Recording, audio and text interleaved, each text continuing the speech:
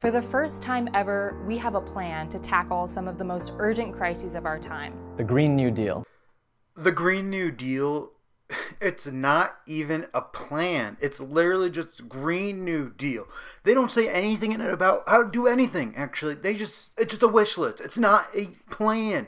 There is no plan in this. They just say, hey, we want to get all done by 2030. We have no idea how. We have no idea what to do or how to do it. This video is starting out great oh my. But there, there's no way. Like you like they don't even say they don't even say in it hey you know every time some kids lose a tooth we're going to tax that 95% whatever dime they get under there. Like they, they don't say anything about how to do anything or nothing. This is just some stupid thing that they're doing this now because i don't know. D- democrats and liberals. Okay i don't i don't know. So we're starting the video out real well It's been put forward by Congresswoman Alexandria Ocasio-Cortez, The Sunrise Movement. and Justice Democrats. Here's what it is. The Green New Deal calls for achieving net zero carbon emissions by 2030. guaranteeing everyone a good job and providing targeted investment in low-income communities and communities of color. Okay, so here we go. He's just starting out the list of nothing. I do, like they're not telling us how to pay for it or anything. They're not doing anything about that. And uh, so yeah, just a list of things, and that's pretty much it. And what is a good paying? What's a good job? And all these other things, like they like they don't really explain because a lot of things are opinionated. That means upgrading every building and mode of transportation in this country. And upgrading our entire power grid to achieve maximal energy efficiency. Holy shit! Good luck with that. Leading climate scientists have said that the only historic parallel to the kind of mass mobilization we need to avoid economic and climate disaster Is the mass economic plan the United States underwent to build arms for World War II. A mobilization that created the modern American middle class. That's why the Green New Deal is not just another climate policy. Okay, I love this freeze frame, but that's not the point. This is another climate policy with no, nothing. There, there's no nothing to explain or nothing to help how to fix things except for just saying, "Hey, we need to do this." But how are we going to do this? You got to explain how. Like FDR's New Deal, it is a call to redefine politics and establish a new social contract for America. In line with the economic and ecological realities of the 21st century. It is one where no matter the color of your skin, Where your parents are from, Or how much money you make. you are entitled to basic rights. We do already have a lot of those basic rights, but one of those is not the healthcare which they are talking about. To a good job transforming our country, To clean air, water, and food. into a stable climate able to sustain human civilization. It is about firmly saying no one should have to live in fear of losing the people and places they love to a crisis that we have the power to stop. The original New Deal created the greatest middle class America has ever seen. Do the Democrats want another war so we can create another great middle class? I, I'm just confused by this at this point. This is kind of pointless because I don't know why we talk about people's colors or people's skin and this stuff, honestly. But many of its promises were deliberately kept away from people of color and women. Today, the youngest, most diverse, and most female working class deserves a renewed investment that allowed so many Americans to prosper in the 20th century.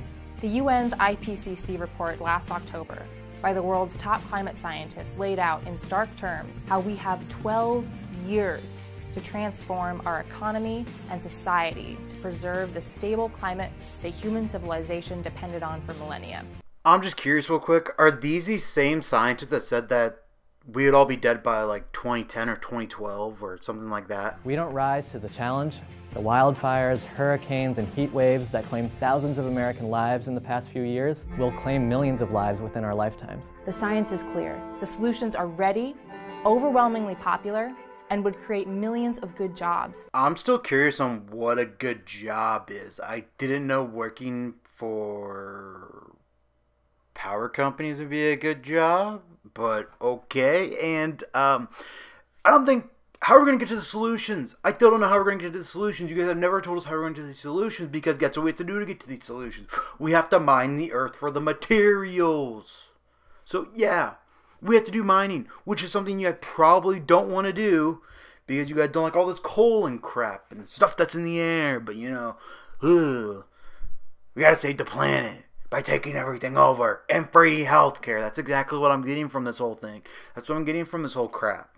That's all that I understand. Now, politicians have a choice. Will they find the courage to stand up to the fossil fuel billionaires who bankroll both parties? Or will they choose to condemn millions of people to a future without the livable planet human civilization has depended on for millennia? The Green New Deal is gaining momentum. Hundreds of organizations and politicians have already endorsed it, and nearly all of the major Democratic presidential contenders in 2020 say they back the idea. Yeah, they back the idea because they haven't read anything from the idea. They haven't read anything from the Green New Deal. They just said, oh, it looks cool, and I'd like to support it because I'm corrupt and I like money, and they aren't going to do it anyways. They're not going to. They're not going to help you out with it. They don't care.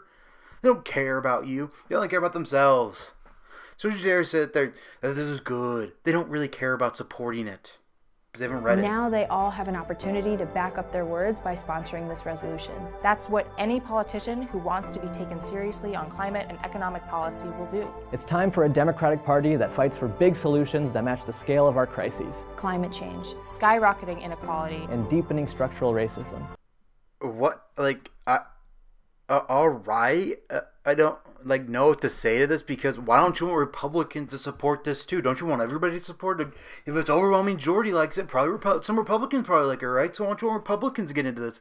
Because you know because you know this is bullcrap and Democrats are only ones that pander to you. This is stupid. This is ridiculous. We're going to be taking the fight for a Green New Deal to every corner of America. We're going on a 15 city tour and a 50 state campaign starting in early primary states to build the political and public support for the Green New Deal. If you're a Democrat running for president or for Congress, We're calling on you to co sponsor and support AOC's Green New Deal. Yeah, the Green New Deal sucks. You like how about we tackle one thing at a time, AOC? Like you don't have to tackle racism, income, quote unquote, inequality, and climate change all in one deal. You know how much that is in one deal? That's a lot of crap in one deal. That is. And you know what? I don't agree, disagree with you on everything. I don't. But guess what? Nobody's going to support the idea of putting a thousand together into one little thing to saying, hey, free crap everywhere. Nobody needs to freaking work. That doesn't want to work. Well, guess what? A lot of people don't want to work, but a lot of people work because guess what? It's the only way to have the economy move. And you pretty much don't want the economy anymore because you want the government to control it, which is fine. Just say it. Say it out loud. I don't care what you think. I want the government to handle everything. Just say it out loud. Say I want to get rid of all of all of free markets and I want to get rid of everything. I just want the government to give you crap. You work for the government. That's it. You get government notes. That's it. Well, they we do get government notes. It's called money. But still, you guys know what I mean. This is complete bullshit. This is this whole thing complete bullshit.